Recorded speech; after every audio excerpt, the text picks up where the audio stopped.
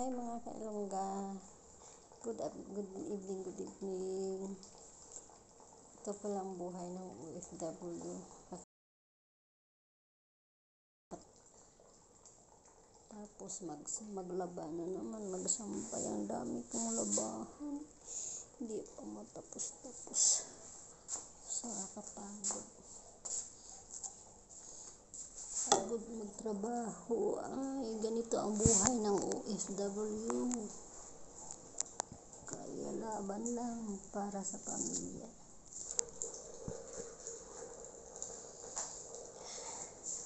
Hello. Hello mga kailongga. Good evening sa lahat, lalo-lalo sa buong Pilipinas, sa buong bansa. Ay, mga ano pala, ang mga taga-Pilipinas pala, pray lang tayo sa lahat natin mga dadaanan ngayon. Napakahirap ng buhay, ang daming krisis sa ating dumadaan. Kaya laban na tayo. Wala tayong wala tayong magawa. Pray for God na natin. Ipipray lang natin para mailampasan natin lahat yung mga ano ba, mga problema. Laban-laban lang. Huwag tayo susuko. Babangon. Babangon, babangon tayo. Dumadapa man tayo, pero babangon pa rin tayo mga Pilipino, di ba?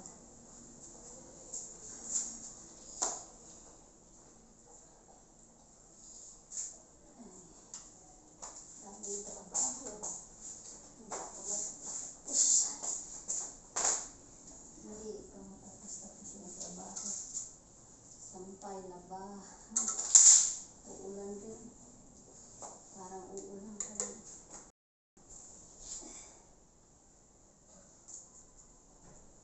Kahit gabi na, ang dami kang trabaho. Walang pahinga. Walang pahinga pag OFW tayo guys.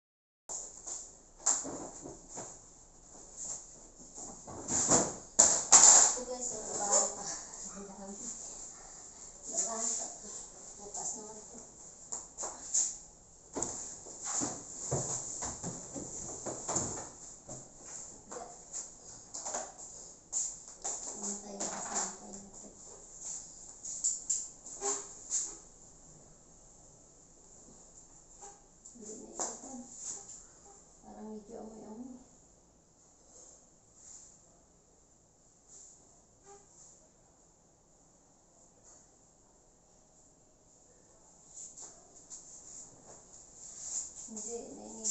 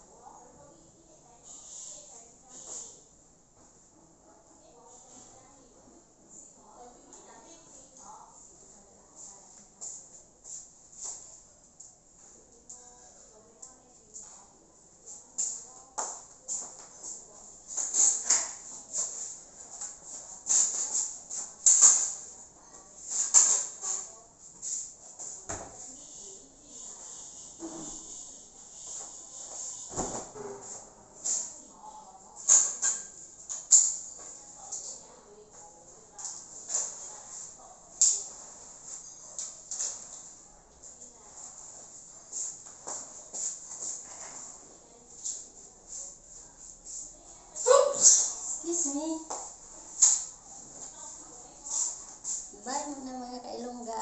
Magsasampay muna ako. Nakakapagod talaga. Hindi pa ako tapos magluto.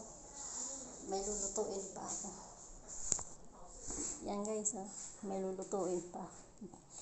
Hindi pa yan naluto. Mamaya-maya pa yan pagkatapos ko sampay. Ay, hirap talaga pag anong OFW ka. Bye! See you!